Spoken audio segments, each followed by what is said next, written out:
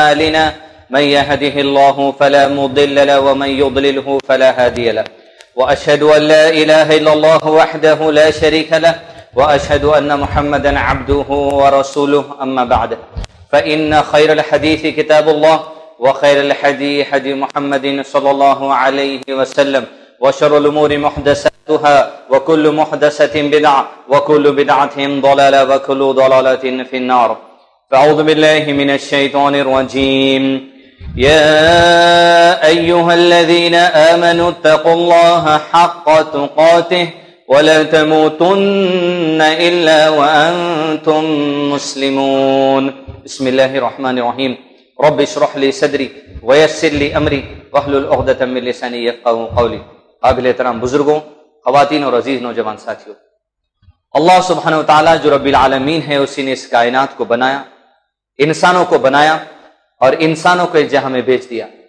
और इंसानों की रहनुमाई के लिए कि इंसान किस तरह अपनी ज़िंदगी गुजारे, पैगंबरों के ज़रिए सहीफे और किताबें बेचता रहा।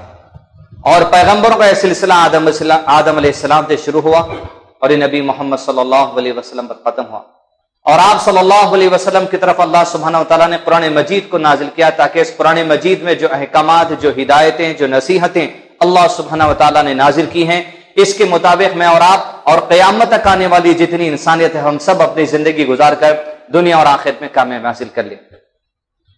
माँ के पेट में नौ महीने रखा जाना, उसके बाद माँ के पेट से बाहर निकाल के बचपन की ज़िंदगी, उसके बाद जवानी, उसके बाद जो सो बुढ़ापे की ज़िंदगी, उसके बाद मौत मौत के बाद खबर का गड़ा उसके बाद आखिरत में अजरों से हिसाब व किताब।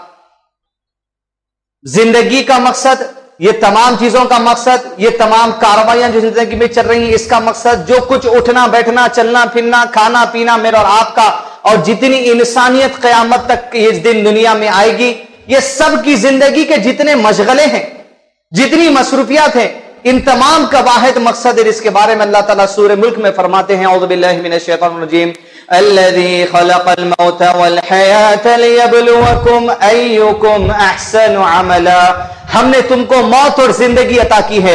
इसका वाहिद मकसद यह है कि अल्लाह सुबहाना तआला हम सबको देखना चाहते हैं, कौन है तुम में अच्छे अमल करने वाला और कौन है तुम में अपनी मनमानी के मुताबिक ज़िंदगी गुजार लेने वाला।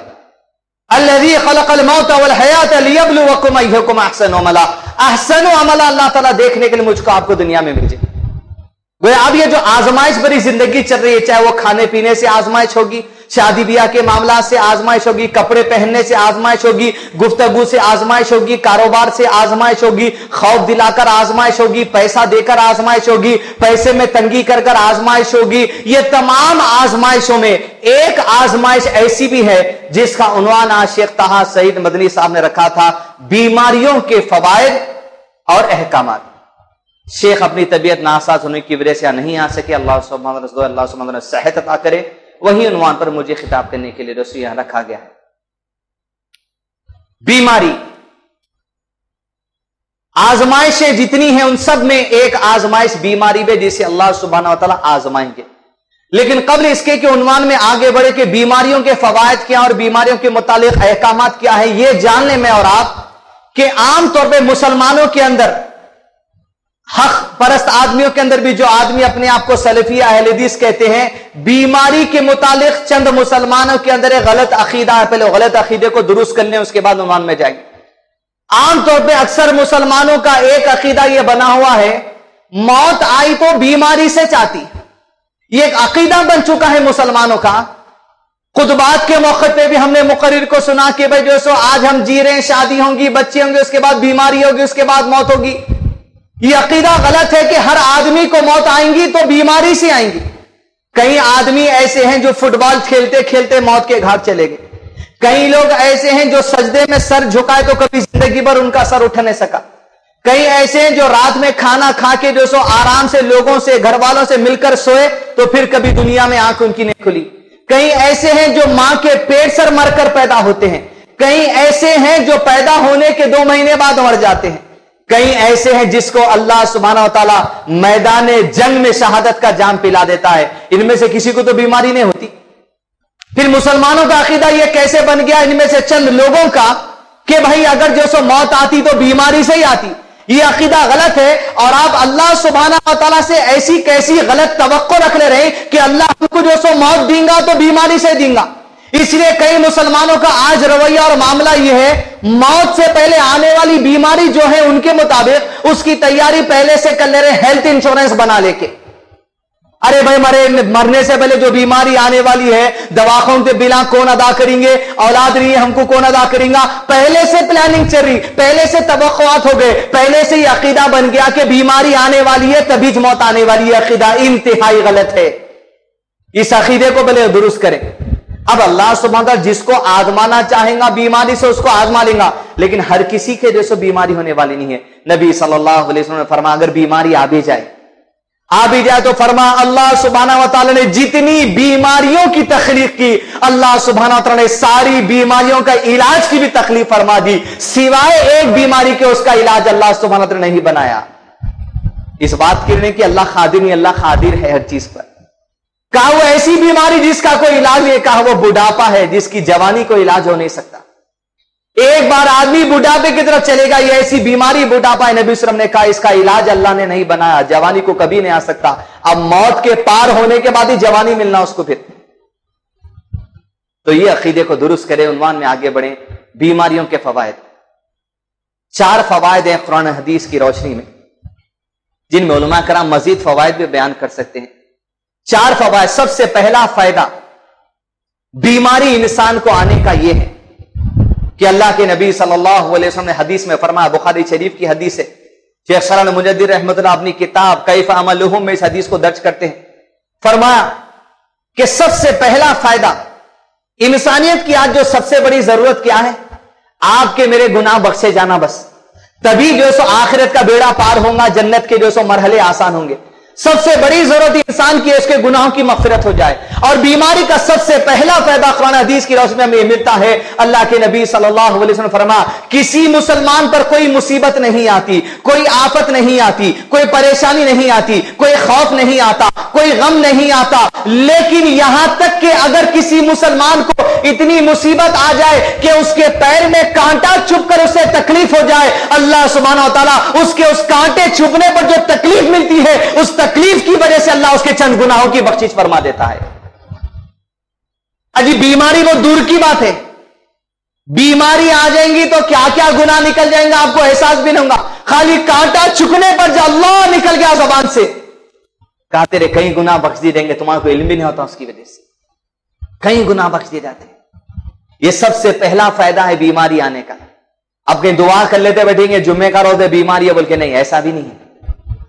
आ गई तो और उसको चाहती जो बर्दाश्त कर सकता, अल्लाह अल्लाह सुबहाना फरमा मजिद में, अल्लाह सुबहाना तला किसी जान पर उसकी ताकत से ज़्यादा बोझ नहीं डालता।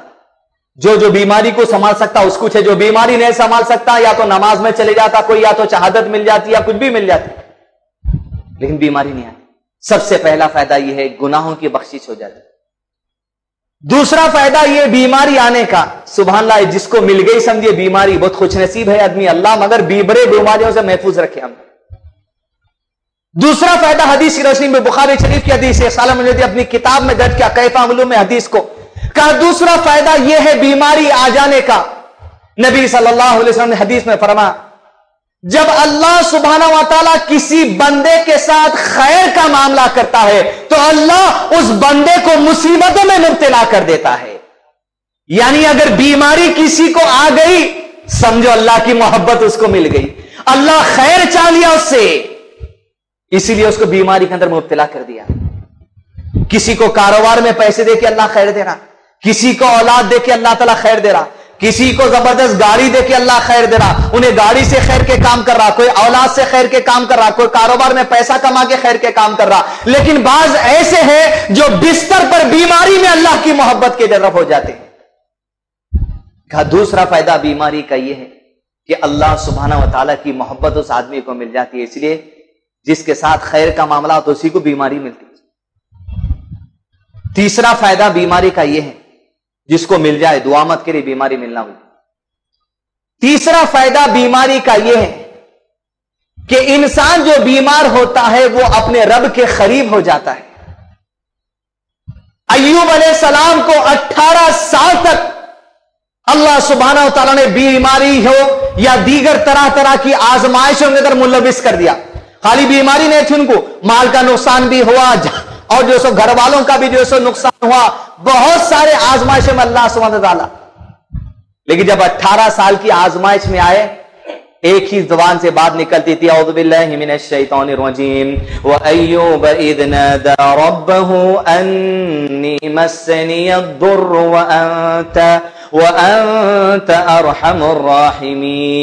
राहिमीन याद करो उस वक्त को, जब अय्यूब अपने रब को निदा लगाकर पुकार रहा था, वह अय्यूब इदनादा रब्बहु अन्नी मस्सनी दुर्र व अंत अरहमीन ए मेरे परवरदिगार, मुझे बीमारी ने पकड़ लिया है वह अंत अरहमीन तू रहम करने वाला है, तू रहीम है मेरे परवरदिगार, मेरी बीमारी से मुझे नजात दे दे।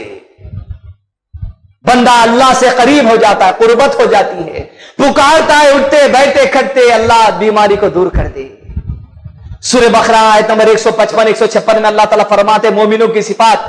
आयत नंबर 155 में अल्लाह ताला फरमाए क्या?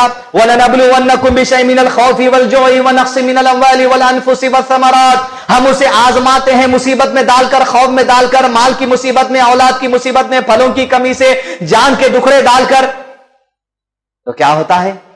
अल्लदीन असौबत मुसीबा अरे जब मोमिन बंदों को अल्लाह मुसीबतों में मुब्तला कर देता है, बीमारी में मुबतला कर देता है, बुखार में मुब्तला कर देता है, दर्द में मुब्तला कर देता है, तीसरा फ़ायदा यह बीमारी का कि आदमी अल्लाह के करीब हो जाता है। अल्लादीना मुसीबत।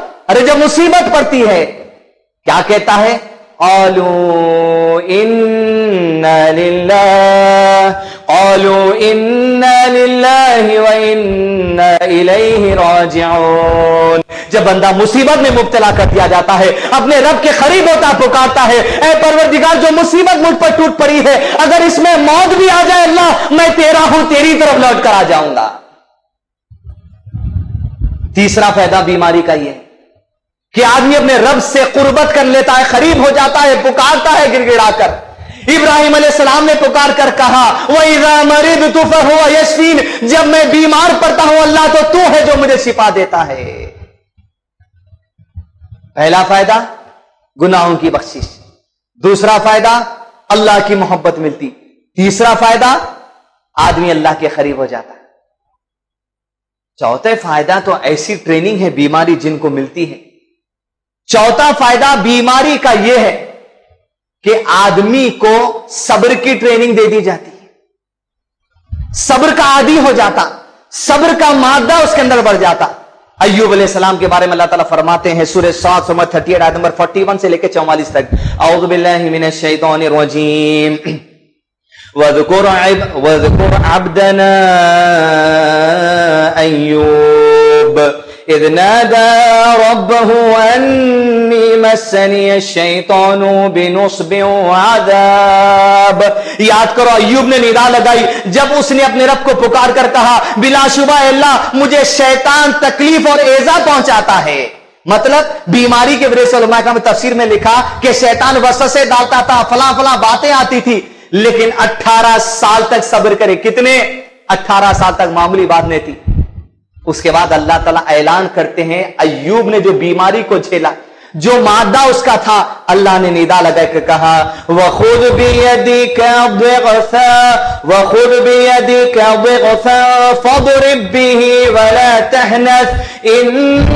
वजदना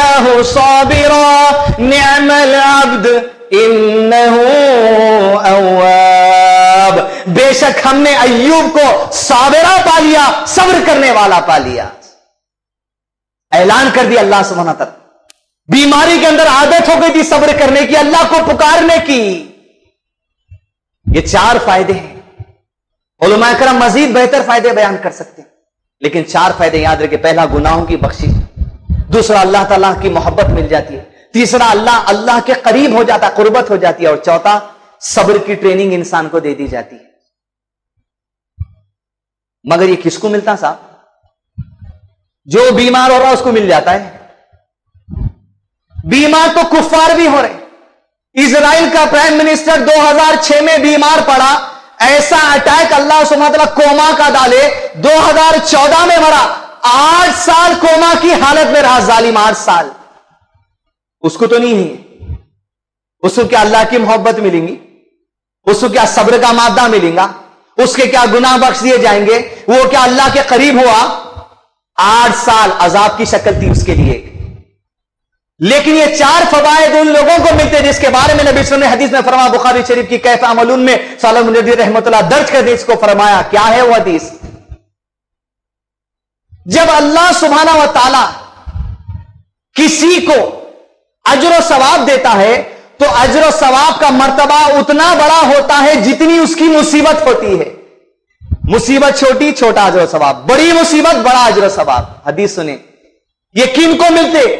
किस बीमार को ये चार फ़ायदे मिलने वाले बुखारी शरीफी खदीब नबी वसल्लम ने फरमाया, अल्लाह सुबहाना व ताला अजर सवाब उतना बड़ा देता है जैसी इसको तकलीफ़ होती है। और जब अल्लाह किसी बंदे से मोहब्बत करता है, उसे बीमारी में मुब्तला करता है, उसे मुसीबत में मुब्तला करता है। और जब बंदा, तवज्जो से सुने, अगर किसी को बीमारी है, तवज्जो से सुने। नबी सर ने फरमा और जब बंदा अपनी मुसीबत में अपनी बीमारी से खुश होता है, अल्लाह उससे खुश होता है, और जब बंदा मुसीबत से नाराज़ होता है, अल्लाह भी उससे नाराज़ हो जाता है। जितनी बीमारी मिली किसी को अगर, खुश हो जाना। अगर आपके अंदर खुशी है ये चार फ़ायदे मिलेंगे। लेकिन बीमारी से आप नाराज़ हो गए, कोस लेते बैठ गए, ये क्या हो गया, मैं कुछ हो गया, मैच मिला क्या? तो अल्लाह भी तुमसे नाराज़ रहने वाला इसलिए अले अल्लाह तो तुमको चुन लिया था पहले, क्योंकि उसकी मोहब्बत तुमको मिल गई थी, बीमारी अता कर दिया था किसी को। लेकिन तुम नाराज़गी में आ गए। सब्र करिए खुश हो जाइए। किसी को शुगर मिल गई, अल्लाह की मोहब्बत मिल गई, समझिया। सब्र करिए। इलाज करिए वो इंशाल्लाह आगे बताएँगे। मगर दुआ मत करिए, कोई बोलेगा, शुगर दे दो, फला दे दो। नहीं, मिल गई सो वाले के लिए बात है। अब सब्र करें। सब्र क्या है? डॉक्टर साहब कन गए आप, फुल वली में पीट के, तेल के खा खा के। बोले, डॉक्टर साहब, ऐसा हो रहा, वैसा हो रहा, ये हो रहा, वो हो रहा। डॉक्टर साहब बोले, टेस्ट ना करके आओ। आप टेस्ट करवा के आ गए। रिपोर्ट आ गई। डॉक्टर साहब अब आपको बोलने वाले आप सामने हैं। आप नहीं है, इंशाल्लाह कोई एक है। तस्वूर करके बैठे वहाँ उन्हें। डॉक्टर साहब बोल रहे हैं, आपको शुगर हो गई। जैसा हिट आया चेहरे पे, कानों पे गया। वही है आजमाइश का टाइम डॉक्टर साहब बोले, जैसा किसी को शुगर हो गई, आपको बीपी हो गया, आपको फला मामला है। आदमी अगर ये कोस लिया इसकी बाप की सही बोलते थे घर वाले बाप की बीमारी औलाद को लगती बोल के मेरे बाप को थी, मेरे को लगी बोल कोस रहे अगर तुम इस बात को, खाने को पैसे नहीं, अब दवाओं को कहाँ से लाओ अब क्या भीख मांगना पड़ेगा? दवाओं के लिए कौन कराएगा ये टेस्ट आठ छह दिन में? खाने के पहले का टेस्ट, खाने के बाद का टेस्ट, ये तुम कोसे? ये सब नहीं हो सकता। बोलने वाले ऐसा बोलते, साहब, दस साल से शुगर का मरीज़ हूँ, सबर कर रहा हूँ। तुम्हारा सब्र वही था जब पहली बार तुमको हिट लगी। क्यों? हदीस है नबी सल्लल्लाहु अलैहि वसल्लम फरमाए, बुखारी शरीफ की, एक खातून मक्के के अंदर या गालिबन मदीने के अंदर अपने बच्चे की खबर पर रो रही थी। अलैहि वसल्लम के सामने से गुजरे तो कहा, होश में रहे और सब का दामन था मेरे। औरत अपने बच्चे की खबर पर रो रही थी। बुखारी शरीफ की हदीस बुखार कर कहा, तुम जाओ यहाँ से। तुम पर वो चीज़ नहीं बीती जो मेरे दिल पर गुजरी, अगर तुम पर बीती होती तो पता होता। उस सहाबिया को पता नहीं था, वो रसुल्ला में चले गए। जब वो घर गई तो लोगों ने उससे कहा कि जिस आदमी को तूने झिड़की दे दी, वो कोई और नहीं, मोहम्मद रसोल्लाम दौड़े दौड़े अल्लाह के नबी वसल्लम के घर पर गई। कोई गेट कीपर उस दिन नहीं थे, गार्ड नहीं थे नबी वसल्लम के। घर के अंदर इजाज़त देके नबी वसल्लम के, अल्लाह के नबी वसल्लम। मुझे पता नहीं था वो आप थे, मैं इसे लहजे में कह दी जैसा नबी वसल्लम बोले सुनी ना बात गम की, छठ बोल के झिड़क दी। हट हमारे कुछ आ गया क्या बीमारी फला आ गई क्या? रसोल्लम जैसे उसके अल्फाज सुने, पुकार कर कहा आप वसल्लम ने अरे खातून, इस बात को याद रख, सब्र उसी का नाम है, जब तुझे सदमा मिल जाए, वही सब्र करना है। जब झटका लगे, शुगर आ गई तुमको, तशरीफ़ और बीबी होते हसबुन अल्लाह वकील। व इन्ना इलैहि राजिऊन। तेरी मोहब्बत मिल गई, अल्लाह गुना बस दिए गए परवरदिगार। तेरे करीब हो जाऊँगा, अल्लाह तुझे पुकारूँगा, अल्लाह जैसे यूब ने पुकारा, जैसे इब्राहिम ने पुकारा, अली मुसलाम कहा झटका लगा। बोले, सब्र वही है, उसी का नाम है, जब आए तुम पर तो करना। बाद में दस साल से कर रहा हूँ, बीस साल से कर रहा हूँ, आज मिलेंगे नहीं, बोल के नहीं इंशाला मगर वहाँ देखा जाएगा क्लिनिक में। वहाँ देखा जाएगा जब तुम्हारे अंदर डिटेक्ट किया जाएगा कोई चीज़। वसबिर सब्र कर इन नलाकिबत अली मुत्तकीन बेशक आखिरत तो मुत्तकियों के लिए है। सब्र करें। कोई है अगर बीमार यहाँ पर आदमी? अल्लाह ताला से तो अल्लाह ताला सेहत अता करे। आज तौर पर शेख ताहा सईद मदनी जो आप यही उन्वान पे बोलने वाले थे, अल्लाह उन्हें भी सेहत अता करे। काश वो होते तो शायद मजीद और बातें हमारे सामने आती। सब्र कर रहे हैं आप। दो खुशियाँ लेते जाइए मस्जिद इबाद रहमान से। तिरमिली शरीफ की हदीस, कैफा मुल में शाह रहमत ने दर्ज किया, सेहतमंद आदमी को हसद होंगी अब बीमार आदमी से, मगर आप दुआ मत कीजिए। क्योंकि नबी वसल्लम नए होना बोल के दुआ करे बीमारियाँ वो आगे बताएँगे। रसूलुल्लाह ने फरमाया, तिरमिदी शरीफ की हदीस से कयामत के दिन वो लोग जो दुनिया में सेहत अता कर दिए गए थे वो लोग जो दुनिया में सेहत से रहते थे, खाते पीते थे, जब क्यामत के दिन ये सेहतमंद लोग उन लोगों को देखेंगे जो दुनिया में बीमार थे और अल्लाह सुबाना तला बीमार आदमी जो दुनिया में था, उसको जो आला तरीन नेमतें आखिरत अता करेगा। नेमत वाला आदमी जो दुनिया में था सेहत वाला आदमी जो दुनिया में था, वो पुकार कर कहेगा, काश दुनिया में हमारी चमड़ियों को टुकड़े टुकड़े कर दिया जाता। आज ये बदला मिलता जो बीमार को मिला। काश के खैंचियों से हमारी खालों के टुकड़े टुकड़े कर दिए जाते। तो ख्यामत में ये मर्तबा मिल जाता जो दुनिया में बीमार आदमी को मिला सुबह खुश हो जाइए साहब, बीमारी मिली तो आपको। मगर दवा कंटिन्यू रखिए, आगे आइए। एक हिस्से पे चले जाएँगे नहीं तो कहीं फिर उसके बाद साहबा के अंदर क्या खुशी रहती थी साहब? बीमारी है बोलते उन्होंने खुशी में और बीमारी में अपने लोग कैसे हैं? या तो मोहम्मद रफी के गाने गा लेते बैठते, या रेडियो सुन लेते बैठते, या टीवी देख लेते बैठते, अखबार, उबले अंडा चाय घर, बस, ये काम है। आप अंदाज़ा लगा सकते एक बीमार साहबी सुबहान अल्लाह अमर इब्न जमू रदी अल्लाह जिसके चार करियल नौजवान लड़के, बुखारी शरीफ की हदीस। जंगे बदर में वो चारों बच्चे शामिल हुए और बहुत सारे जिहाद में साल, ये चार नौजवान तफसीर में लिखा ऐसे शेरों की तरह थे बस मार काट में तो। उनके वालिद अमर अमर इब्न जमो रदी अल्लाह जो क्रिपल थे पैर उनके, यानी माजूर थे पैर से एक बीमारी थी उनको। अल्लाह अकबर। मोहब्बत देखिए इनकी बीमारी रहे तो भी घर में बैठते नहीं। बोले, मैं ओहद की जंग में चलता हूँ, मेरे बच्चों लेके चले। अंदाज लगाए साफ़ पैर की बीमारी है सुबह अल्लाह क्रिपिल है, माजूर है। बोल रहे मेरे को जंग हौद में लेके चलो। बेटे बोले, वालिद साहब, आपके ऊपर जंग फ़र्ज़ नहीं हुई, आप क्यों जाना चाहते? निकल के अल्लाह के नबी सलम के पास गए। बोले, अल्लाह के नबी सलम में जिहाद में, जंग में शरीक होना चाहता हूँ, अल्लाह के नबी सलम मेरे नौजवान बेटे हैं जो मुझे रोकते हैं। रसोल ने देखकर कहा, आप पर जिहाद फ़र्ज़ नहीं है। पैर से आप माजूर है, बीमारी है आपको एक पैर की। नबी सल्लल्लाहु अलैहि वसल्लम ने उनके बेटों में जाकर कहा इजाज़त दे दो तुम्हारे वालिद को, शायद कि अल्लाह शहादत अता कर दे। जैसे हुक्म हुआ सुबहान अल्लाह चारों बेटों के साथ पैर को माजूर रखते हुए सुबहान अल्लाह अहद के मैदान में कूद गए। जंग शुरू होने वाली अल्लाह के नबी वसल्लम से पूछते अल्लाह के नबी सल्लल्लाहु अलैहि वसल्लम, काश मैं जंग में तो आ चुका, और उम्मीद है अल्लाह मुझे शहादत आ करेगा। अल्लाह के नबी वसल्लम अगर शहादत मिल गई तो क्या जब जन्नत में जाऊँगा अल्लाह के नबी सलाम ये माजूर पैर क्या सेहत वाले हो जाएँगे? कहा, ज़रूर तुम्हारे सेहत वाले पैरों के साथ जन्नत में जाओगे यहाँ तक के ओहद की जंग का आगाज़ हुआ। जो कुछ कर सकते थे करे। यहाँ तक के सीने के आर पार जब बचे हुए, शहादत मिली। ये शहीद, इनका काम वाला शहीद, इनके रिश्तेदार शहीद। अल्लाह के नबी सल्लल्लाहु अलैहि वसल्लम जब अमर इब्न जमू रजतन के सामने से गुजरे, पैरों की तरफ़ नज़र पड़ी, पुकार कर कहा है मेरे सहाबा, मैं देख रहा हूँ, अमर इब्न जमू अपने सेहतमंद पैरों के साथ जन्नत में टहल रहा है। बीमारी भी है। क्या कर सकते थे मैक्सिमम लिमिट चले गए ना, जिहाद के मैदान में बीमारी के साथ जाना, इससे बड़ी लिमिट क्या हो सकती है, बोलिए क्या लिमिट हो सकती है इससे बड़ी? यह है साहबा लिहाजा दादी मिलन जो है सो खुशी मनाइए। कि अगर किसी को बीमारी मिल गई तो खुश रहिए उससे नाराज़ मत होइए, दुखड़े मत सुनाइए, अल्लाह को कोसिए मत, लानत मत कर लीजिए किसी बात पे। अल्लाह मोहब्बत कर रहा आपसे। और फिर क्या है? गुनाह बख्शी छोरी, अल्लाह से करीब हो जाइए, सब्र की ट्रेनिंग ले लीजिए। ये तकरीर का पहला हिस्सा था गुनाह फवायद किसके? बीमारियों के। तकरीर के आखिरी हिस्से में मुख्तसर बातें अहकाम अहकाम मैं तो तीन चार लाया हूँ, शेख साहब, सईद मदी साहब। शायद मजीद अहकाम आपको दे सकते।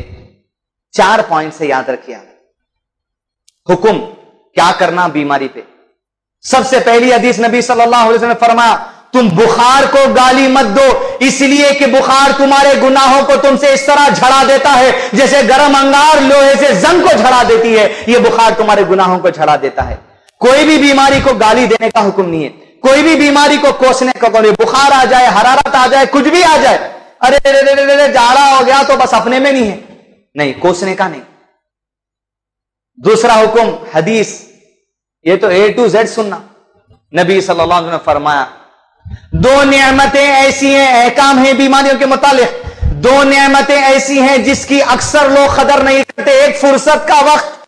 हैदराबादियों को तो बस लाटों में है, डजनों में है, किलो में है, टनों में है। मगर खदर नहीं है।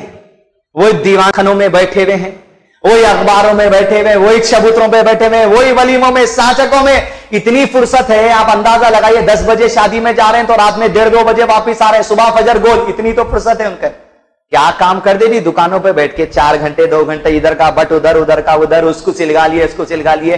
पूरी फुर्सत है, आप याद रखिए आप। बोले, ये नेमत है फुर्सत, तुम इस्तेमाल नहीं करें। कहा, दूसरी नेमत जिसकी कदर इंसान नहीं करता, वो सेहत है। और फरमा रसोल्ला ने, सेहत को गनीमत जान लो बीमारी आने से पहले। सेहत अल्लाह सुमत आज दिए तो टाइम पे खाओ अच्छा खाओ। तेल के सालाना खा रहे हैं, मिर्ची भजिए खा रहे हैं, जो मन में आए खा ले रहे हैं। कैसे खाने हैं जी वली के? कैसे खाने हैं साहब? बीमारियों की वजूहत किसकी वजह से? ये खानों की वजह से होती है। मस्जिद में बैठे हुए कई लोग न जाने कितनों के जेब में अभी मनिक्षण गोवा गुटका रखे हुआ है। न जाने कितने हैं जो सिगरेट की डब्बी लेकर आए। नहीं यकीन हो रहा, मस्जिद के हमाम में जाके देखे, दरवाजे के पीछे थूक देते हैं लोग खा के आके। शहद एक नेमत है। तुम जब तक शहद है, तुम गोवा खा के, सिगरेट पी के, पाना खा के, याला वाला खाने खा के तुम अपनी सेहत को खराब कर ले रहे। वक्त पे खाना नहीं खा के कोई किसी शुगर आ जा रही? नबी ने कहा, गरीमत जान लो, अगर आज शहद है तो कबल इसके कि बीमारी आ जाए बीमारी कैसा आ रही? खुद इंसान अपनी हाथ से लेकर आ जा रहा। ऐसी हरकतें करके, ऐसे खाने खा के टाइम टेबल पूरा बर्बाद। ग्यारह बजे नाश्ता हो रहा। ग्यारह बजे नाश्ता हो रहा। क्या सेहत रहती साहब? रात का खाना साढ़े ग्यारह का खाते, डकारा लेते, लेट जाते वहीं हजम होता नहीं, डकारा सुबह उठ रहे हैं, टहल रहे हैं जिलोसिल पी रहे हैं, वो खा रहे हैं, ये खा रहे हैं। इस सब गल का भूसा चल रहा, सब चल रहा। कैसे? सेहत को गनीमत जान लीजिए फिर इससे अहकाम सेहत के बारे में क्या है? नबी सल्लल्लाहु अलैहि वसल्लम, बाज ऐसे हैं अपने भाया मैं दवाई सुने खा था भाई। कुछ भी हो जाए। दवा अब एक लिमिटेड हद तक नहीं खाया छीक आ रही हमारे से कुछ भी होते, मैं सीधा डॉक्टर कन भागता हूँ। अब बात ऐसे बर्दाश्त करने का मादा है, कर सकते हरारत नहीं है। भाई निकलने दो, नाक से निकलने दो बोले। लेकिन बाद ऐसे तवक्कल बस अल्लाह पर, कुछ नहीं, हाथ हो जान दो, शुगर हो जान दो, कुछ भी नहीं। वही खा रहे मिठे भर के कुर्बानी कहा डबल का सो रहे फिर तवक्कल अल्लाह। मुहद्दिस इब्न कय्यम रहीमहुल्लाह ने कहा सरल मुजद्दिद रहमत कैफल, उन्होंने दर्ज करते हैं इब्न कय्यम के इस कौल को। कहा, तवक्कल इसका नाम नहीं है। क्या प्यारी मिसाल देते साहब, बोले बोले, तुमको भूख लगती तो तकलीफ़ होती, बेचैन हो जाते। तुमको प्यास लगती तो तकलीफ़ होती, बेचैन हो जाते। तुमको सर्दी होती तो बेचैन होते, तकलीफ़ होती। तुमको गर्मी होती तो तकलीफ़ होती, तुम बेचैन हो जाते। कहा, अगर तुमको बीमारी पर दवा खाना नहीं है और तुम बोल रहे कि तवक्कल अल्लाह है तो खाने अगर जब भूख लगती है तो खाना भी मत खाओ। क्योंकि तकलीफ़ हो रही, प्यास लगती तो तकलीफ़ हो रही, पानी भी मत पियो। सर्दी हो रही तो ब्लैंकेट ओढ़ के मत सो। गर्मी होती तो एसी और ठंडे में मत बैठो। तो वो भी तकलीफ़ है, बीमारी भी तकलीफ़ है। कहा इब्न कय्यम रहमौला ने, तवक्कल अल्लाह का ये मज़ा नहीं है कि तुम अल्लाह के वसाइल को छोड़ के कहो कि मैं तवक्कल करता हूँ। उसके वसाइल को अपना के कहो कि मैं तवक्कल करता हूँ। मैंने अल्लाह की दीवी दवा खा ली, अब तवक्कल अल्लाह वही मरीद तो स्पिन दवा खा ली हर चीज़ को भी दवा नहीं। कुछ ऐसे सीरियस है एकदम जो सो आप वो निकलना तवक्कल है भाई, ऐसा नहीं। ओलमा कराम की तशरीहात है, इन पर जो सो अमल करना चाहिए। छोटी बातों में एहतियात कर रहे हैं, हरज की बात नहीं। दूसरा, वो खौल है देखिए, नीम, हकीम, खतरे, जान बोल के क्या है क्यों ये जो हैदराबाद में तो इतने नुस्खे आपको मिलेंगे कोतमीर में करिया पाक मिला के खा लो, बेसन में वो मिला के खा लो, इसमें ये मिला के खा लो, वो कम हो जाता, ये कम हो जाता। हर घर में हकीम एमबीबीएस बैठे हुए हैं। ये नहीं चल सकता। हदीस है पहले दवा खाने की हदीस सुनिए, बुखारी शरीफ, रसूलुल्लाह सल्लल्लाहु अलैहि वसल्लम के पास, उम खैस रदी अपने छोटे से बच्चे को लेकर आई, जिसको टॉन्सिल्स हो गए थे। गदूद आ गए बोलते। वो अल्लाह के नबी सल्लल्लाहु अलैहि वसल्लम के पास कही, अल्लाह के नबी इस बच्चे को टॉन्सिल्स हो गए। मैं इस टॉन्सिल से इसे नजात देने के लिए इसके गदूद को दबा देती हूँ। आप सल्लल्लाहु अलैहि वसल्लम ने फरमाया, क्यों इसके गदूद को दबाकर तकलीफ़ देती है? इससे ऊद अल हिंदी का मज़ा चका इसमें सात अमराज की शिफा है। गोया अल्लाह के नबी वसल्लम की इस हदीस में दवा खाने को जायज़ करार दे दिया गया है। ऊदल हिंदी बोले तो हिंदुस्तान में इस पट्टी में मिलता से ऊद की काड़ी जिसके एसेंस खुशबू या धुआँ सुंगा के कदूद को कम किया जा सकता है। अब वो हकीम वाले जानते दूसरा, इलाज नहीं करना। क्या है? एक तो इलाज आप ये कर सकते हैं कि दवा। दूसरा इलाज ये भी होता भाई नजरे बदलक के हरारत होते थे बुखार आ जाता। आप रुकया के ज़रिए भी इलाज कर सकते हैं। अल्लाह के नबी वसल्लम के बारे में बुखारी शरीफ के हदीस में आते जब अल्लाह के नबी वसल्लम की तबियत हरारत को पहुँची, तबियत आपकी खराब हुई, आप फलक और नाश पर के अपने हाथों पर दम करके अपने जिसम पर मल लिया करते थे। यहाँ तक कि जब आपकी तबियत और खराब हुई, आयशा रौदिल्ला इस फलक और नाश पर थी के हाथ लेकर दम कर दी, फिर आप वसल्लम अपने जिसम पर वो हाथ जो सो फेर लिया करते। पहली चीज़ ये कि दवा का इस्तेमाल जो सो आप करना है। दूसरा तवक्ल अल्लाह के नाम पर आप दवा को जो सो नहीं छोड़ सकते। और तीसरी बात, कि अब नबी सल्लल्लाहु अलैहि वसल्लम बीमारी से बचने के जो हुक्म दिए, नबी की दुआ भी हुक्म में शुमार हो जाती है। आप सल्लल्लाहु अलैहि वसल्लम दुआ करते, अल्लाहुम्मा इन्नी आऊज़ु बिका मिन मुनकरातिल अखलाक। वल अमाल वल अहवाई वल दुआ अल्लाह मुझे बुरे अखलाक से बचा ले मुझे बुरे अमाल से बचा ले, बुरे ख्वाहिशात से बचा ले, और अल्लाह मुझे बुरी बीमारियों से भी बचा ले। ये दुआ करते थे। फिर क्या दुआ करते अल्लाह के नबी वसल्लम अल्लाह आफिनी फ़ी बदनी अल्लाह आफिनी फ़ी समय अल्लाह आफिनी फ़ी बसरी। अल्लाह मुझे आफियत दे दे पूरे बदन में। अल्लाह मुझे आफियत दे दे मेरे देखने की ताकत में। अल्लाह मुझे आफियत दे दे मेरे सुनने की ताकत में। इयरिंग में सींग में और पूरे बदन में अल्लाह आफियत दे दे, तेरे जो सामान में रख ले। ये दुआओं के साथ जो सो इसी तकरीर का इस उनवान का अख्ताम किया जाता है। रबना ला तुज़िग़ क़ुलूबना बअद इज़ हदीतना व हब लना मिन लदुनका रहमा इन्नका वहाब। व आखिरु दअवाहुम अल्हम्दुलिल्लाहि रब्बिल आलमीन।